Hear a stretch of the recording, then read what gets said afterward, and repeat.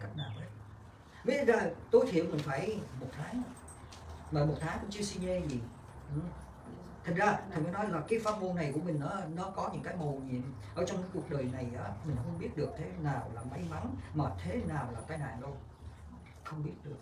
Không ai biết được luôn cái mình tưởng á, là tai nạn á biết đâu nó lại là may mắn cho mình.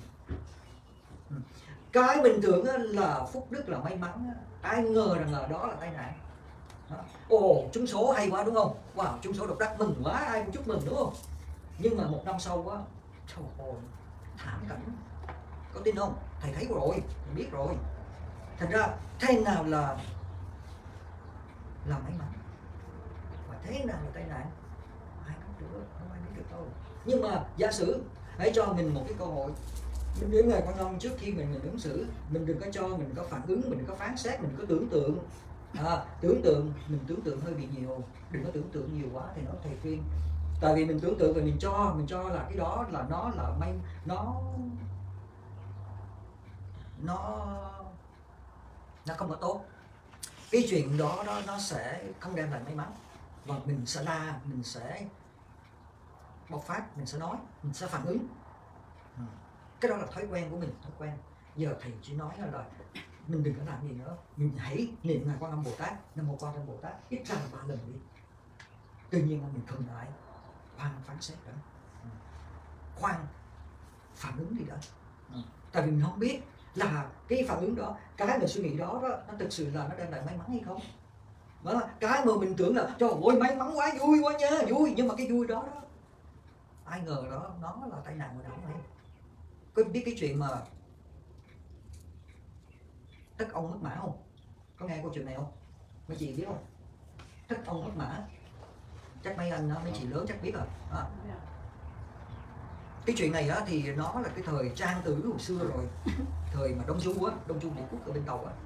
Thì có một cái ông ông tên là là cho phép thầy kể cái câu chuyện này ra. Rồi tại chúng ta không có nhiều thời gian nhưng mà cái câu chuyện này nó cũng rất là có ý nghĩa đó. thì ông ờ, này là ông ờ, ở vùng ờ, biên địa vùng biên giới nghèo. Nhưng mà ông á ông có nuôi một con ngựa người trắng. Cái con phải nói là cái con bạch mã mà phải nói là nó nó rất là hiếm rất là quý luôn. Đến nỗi mà vua với lại nhiều người muốn tới mua đó, để mua trả giá rất là cao. Nói hỏi mua con người này, con bạch mã này. À. ông ông ờ, thích ông ờ, tới ông này ông ông không chịu bán. Ông nói, không không. Con ngựa này đó là sống với gia đình nó cũng lâu lắm rồi, nó thành ra một phần của gia đình. Thành ra ông xem nó, con ngựa này như là như là một cái phần của gia đình thì đó ông có bán vì tiền. Ông chứ không có bán. Bây giờ cái, rồi ông nguyên nguyên cả bà con đứa sớm ở trong làng nó nói trời ơi, sao ông ngu quá, bán đi, ông bán đi, ông rất là nhiều tiền chứ bây giờ ông sống nghèo như vậy á được có người mà trả cho ông. Có người trả cho ông số tiền nhất là vua mà trả một số tiền lớn nữa ông sẽ trở nên giàu.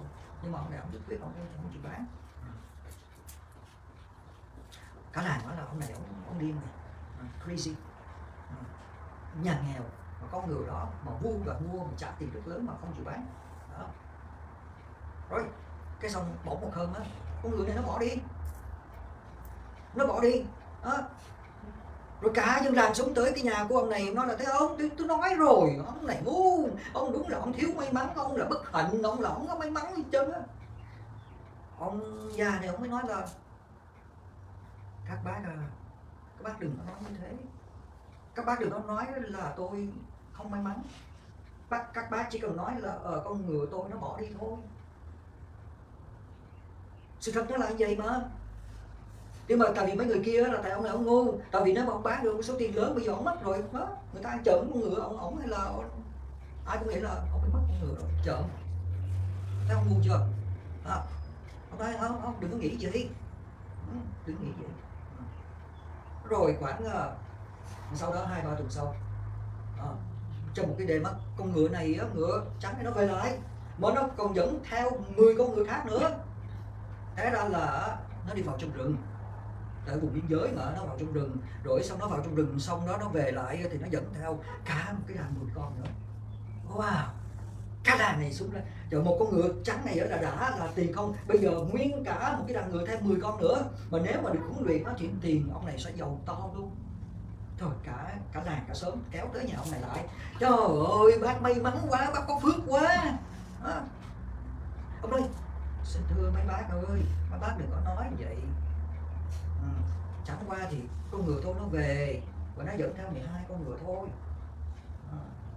à. ai cũng cho nào, con này cũng quá là điên à. quá điên à. crazy à. yeah.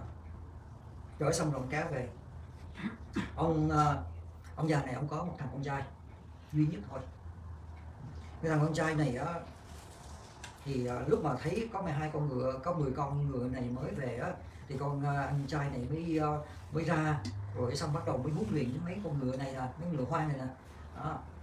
À, huấn luyện cho nó. Thì gặp đúng một cái con ngựa nó chờ trứng ấy quá. Nó hất nó anh chàng này té xuống gãy cái chừng à, gãy cái chừng mất.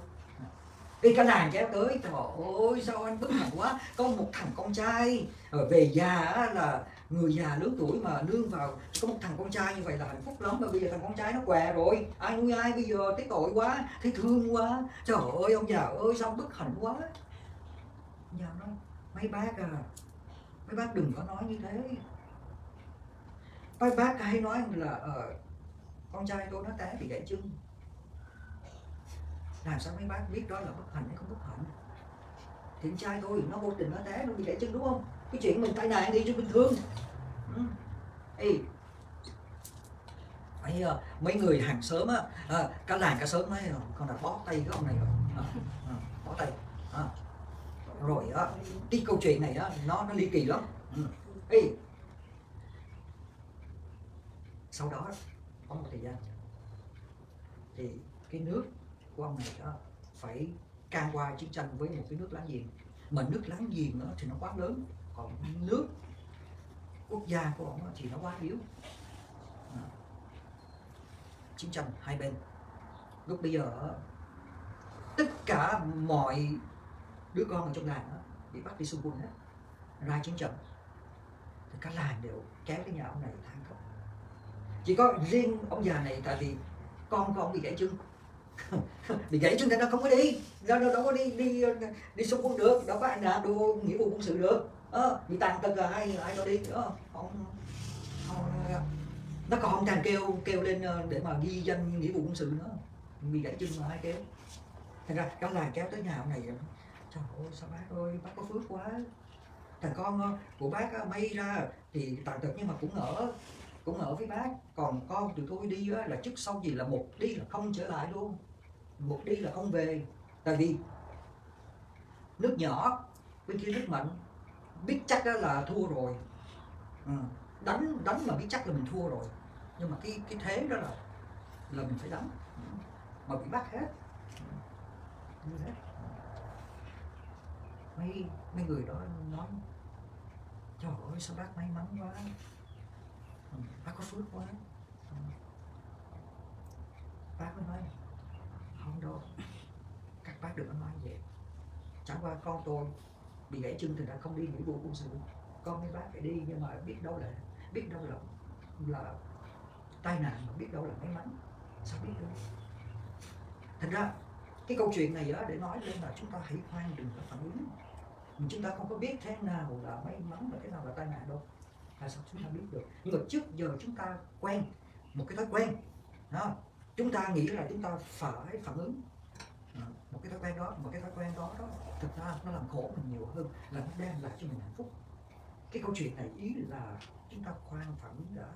Hồi xưa cha ông ta mới nói là trước khi mà mình nói á, mình uống lưỡi bảy lần là vậy.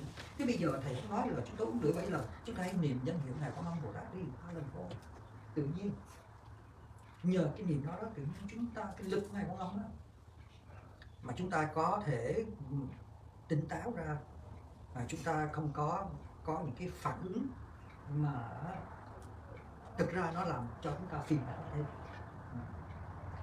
Thì ờ, có như vậy là nếu mà chúng ta có thể làm như vậy thì may mắn sẽ tới với chúng ta luôn luôn, mà chúng ta sẽ không gặp tai nạn. Tại vì tai nạn hay không là do chúng ta phản ứng mà. Còn như ông già này đó ông trải qua đó, nhưng mà ông đâu có thấy nó là tai nạn đâu. Thế bây giờ bây giờ mình cũng vậy thôi bây giờ đây là một cái phương pháp mà thầy suy nghĩ. Ồ, cái câu chuyện này khá hay nha đúng không? Ừ. tại sao bác gì mình phải phản ứng gì đi tại vì mình đâu có biết rõ. Cái chuyện đó nó đem lại may mắn hay là nó đem lại là bất hạnh? Thì cái chuyện nó tự nhiên thì cái chuyện gì nó tới thì nó sẽ tới thôi đúng không? Chấp nhận.